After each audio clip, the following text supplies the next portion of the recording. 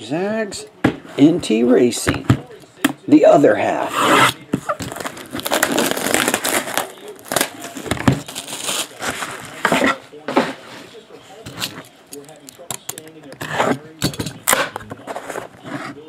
I would be shocked if there's not at least one 101.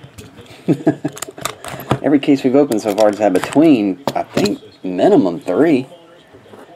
Two or three. I don't know. Some had four or five.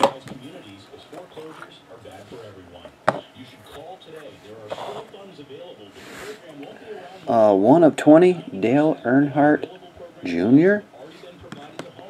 Matt Kenseth, 16 of 25, Fire Suit. Triple Relic, Chris Buescher, Ryan Reed, and Bubba, Bubba Wallace Black, 5 of 5. 1 of 15, Bill Elliott.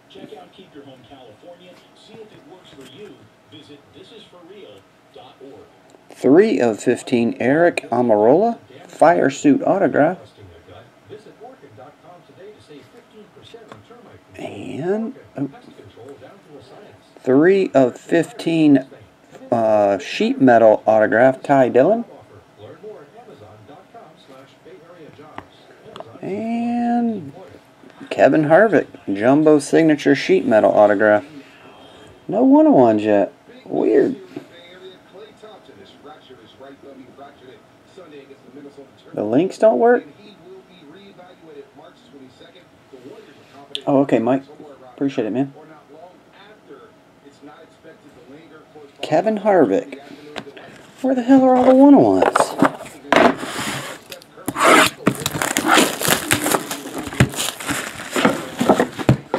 Yesterday, one box had three.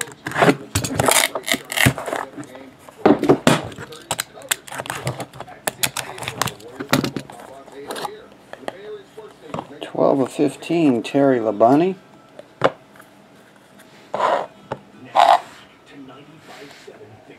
Twelve of fifteen. Four of ten, uh, Paul Menard. Looks like sheet metal tire. Evolution, nah, we did the group break. This is the other half, personal.